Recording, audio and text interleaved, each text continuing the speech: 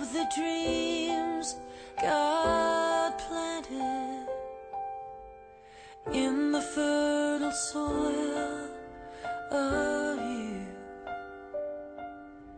I can't believe the hopes He's granted means a chapter in your life is through.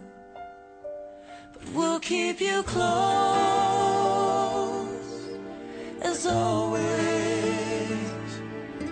It won't even you've gone. Cause our hearts in big and small